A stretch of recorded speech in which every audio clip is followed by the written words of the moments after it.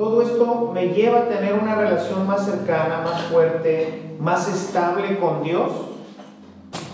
O como a veces pasa, ¿verdad? Después del adviento, las filas para confesarse están de acceso.